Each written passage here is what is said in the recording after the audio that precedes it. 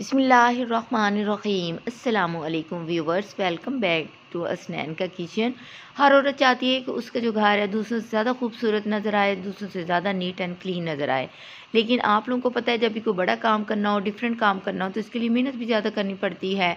तो आप लोगों को इस वीडियो में आपकी बच्चियों के लिए कुछ ऐसी मैंने बातें, टिप्स बताई हैं, जिसे ना सिर्फ़ आपका घर बल्कि आपकी बेटियों के घर भी खूबसूरत लगेगा। वो अपने ससुराल में खुश रहेंगी और सुगुन मशहूर हो जाएँगी। इन तमाम टिप्स को देखने से पहले अगर आप चैनल पर नए हैं तो चैनल को लाइक एंड सब्सक्राइब कर दें। एंड तक वीडियो को देखना है ताकि कोई टिप आप लोग मिस ना कर सकें। और ये भी बताना है कि आप लोग किस कंट्री से या किस सिटी से ये वीडियो वाच कर रहे हैं। तो लीजिए, वीडियो बनाना स्टार्ट करते हैं। बिसमीम घर की एंट्रेंस पे इस तरीके का मैट ज़रूर रखें। कोई भी आप लोग बना लें, किसी किस्म का पर मैट ज़रूर रखें।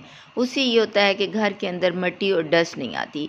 उसके बाद अगर आप लोगों ने बाहर से आए हैं, जो शूज़ हैं, उनको उतार देना है। सॉक्स को निकाल के आप लोगों ने साइड पे रख देना है। ये धोने वाले कपड़ों में रख लेना है।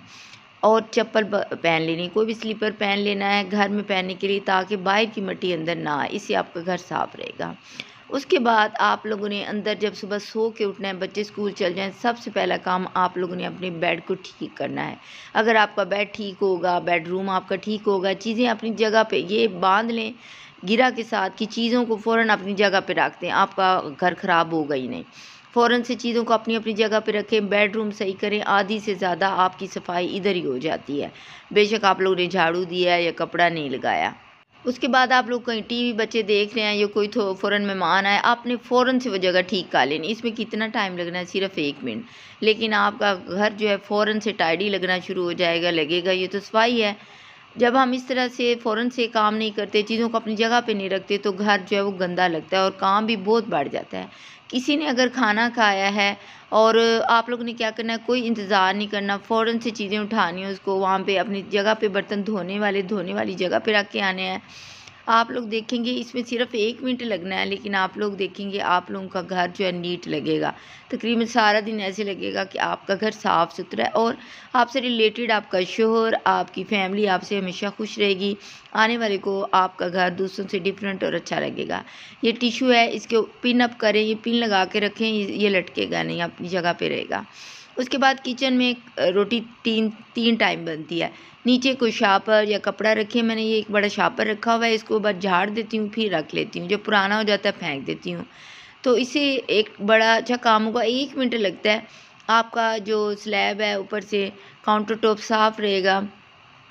उसके बाद ये टॉवल टाइप मोटा कपड़ा बर्तन धोते हुए इस जगह पे रखें, सामने, इससे क्या होगा? कपड़ों पे छींटे नहीं पड़ेंगी और आपके कपड़े गंदे नहीं होंगे। और नीचे भी पानी नहीं गिरेगा। उसके बाद आप लोग आजकल जैसे सर्दियाँ ग्लव ज़रूर इस्तेमाल करें, इससे हाथ ख़राब नहीं होते और उसके बाद इनको अच्छी तरीके से, साबन से अच्छे तरीके से मल के और इसको आप खुश कर लें कहीं लटका दें। जहाँ पे खड़े होकर बर्तन धोए, वहाँ पे नीचे मैट रखें, इससे नीचे पानी नहीं गिरेगा और आपकी किचन जो है वो गंदी नहीं होगी। ये एक मिनट का काम है, लेकिन इससे काफ़ी फ़ायदा होता है। उसके बाद जो भी चीज़ काटें, आप लोग सब्ज़ी काटें, इस तरीक़े से जो ये इस तरीके से मैंने अंदर फंसा लिया है ये शॉपर और जो भी कूड़ा हुआ है इस शॉपर से मैं निकाल लूँगी इसको और देखें, ना कोई चीज़ मेरी गंदी नहीं हुई और कूड़ा भी शॉपर में चला गया उसको मैं फेंक दूँगी। ये बिस्किट का डब्बा है, इसको मैंने अंदर कबड़ के अंदर डाल लिया, ये लटक जाता है और कोई भी कोई चीज़ काटें तो उसको फ़ौर से इसके अंदर डाल दें। ये ऑर्गेनाइज़र भी मिलते हैं, मैं आपको बताती हूँ बाज़ार से। ये इस तरीके के लेकिन अगर आप लोगों को ऑर्गेनाइज़र आपके पास नहीं है तो कोई परेशान होने की बात नहीं। मैंने आपको टिप तो बता दी है ना। तो इस तरह के मिलते इनमें काफ़ी चीज़ें हम डाल के इनको लटका सकते हैं। उसके बाद मैं क्लीनर बनाना सिखाती हूँ इससे आपकी किचन घर हर चीज़ साफ़ हो जाएगी। टेबल हर चीज़। ये मैंने आ, पानी लिया है इस आ, बोतल को आधा पानी से बहा लिया है। इसमें मैंने तकरीबन चार पाँच चम्मच मैंने सिरका डाला है। सिरका हर चीज़ का दाग साफ़ कर देते हैं। इस तरह का अगर लिक्विड आपके पास ये साबन है तो वो ले लें या आप विम जो है उसको थोड़ा सारा पानी डाल के मेल्ट करके इसके अंदर डाल दें। उसके बाद जो है सरफ डाल दें आप लोग एक चम्मच। ये इस तरह का क्लोथ कंफर्टर मिलता है, इसमें खुशबू होती है। ये थोड़ा सा डाल दें, अगर नहीं है तो टेलकम पाउडर थोड़ा सा खुशबू के लिए डाल दें। और ये सरफ भी मैंने डाल दिया। सर्व सर्फ लिक्विड डिटर्जेंट अगर नहीं है तो बर्तन धोने वाला साबुन डाल दें, खुशबू के लिए क्लोज सॉफ्टनर डाल दिया मैंने, अगर नहीं है तो पाउडर डाल दें थोड़ा सा खुशबू के लिए। सिरका इसमें मेन है, जो हर चीज़ को साफ़ करेगा मिक्स करें इसको, उसके बाद घर की हर चीज़ इससे साफ़ कर लें वाशरूम साफ़ कर लें, इस, इससे जो आप लोगों के फ्रिज है, वो इसको इतना चमका देता है, उसको साफ़ कर लें, इस तरह स्प्रिंकल करें और फिर कपड़े से साफ़ कर दें।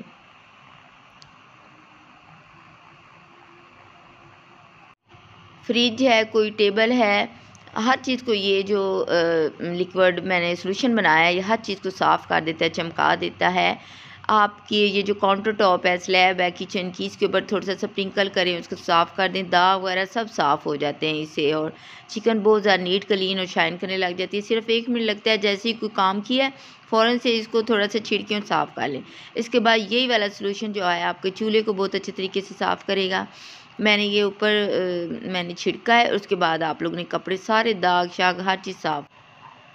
ये देखिए चूल्हा जितना मर्ज़ी गंदा हो ऊपर से नीचे से आ, सारा बिल्कुल नीट एंड क्लीन हो जाता है और सिर्फ़ एक सोल्यूशन आपको बनाना पड़ता है। सारे दाग धब्बे सब साफ़ हो जाता है थोड़ी सी देर में। ये देखिए मैंने आपके सामने इसको छिड़का था और अब ये साफ़ सुथरा हो गया। कुछ दाग ऐसे हैं जो ऊपर से उतरी हुई है कोई चीज़ ना तो ये लग रहा है। लेकिन बिल्कुल साफ़ हो गया है। ऊपर से भी चूल्हा साफ़ हो जाता है। ऊपर भी मैं इसी तरह थोड़ा सा छिड़क लूँगी, चूल्हा बिल्कुल साफ़ नीट एंड क्लीन हो जाएगा। जैसे ही काम करना है, फ़ौरन से चूल्हा और हर चीज़ साफ़ कर लें। इसके अलावा आप लोग अपनी कैबिनेट जो होती है, किचन की, उसके ऊपर आप लोग इसको छिड़कें और उसको साफ़ कर लें। बहुत अच्छे तरीके से ये साफ़ हो जाता है। उसके, इसके ऊपर लगे हुए तमाम दाग, इसके हैंडल वगैरह हल्का सा छिड़के और साफ़ कर लें। ज़्यादा मेहनत की ज़रूरत नहीं है। इस तरीके से आप फ़ौरन से काम कर लेंगे सिर्फ़ एक मिनट लगता है और हर चीज़ साफ़ हो जाती है। उसके बाद ये आपके किचन की जितने इलेक्ट्रिक अप्लायंसेस हैं, जैसे ये जूसर है चॉपर है ओवन है, इनके ऊपर हल्का सा स्प्रिंकल करें, रात को कर लें। और या काम करने के बाद फ़ौर से हर चीज़ नीट एंड क्लीन हो जाती है और बहुत ज़्यादा मैस क्रिएट नहीं होता, आपकी किचन शाइनी और चमकदार लगती है।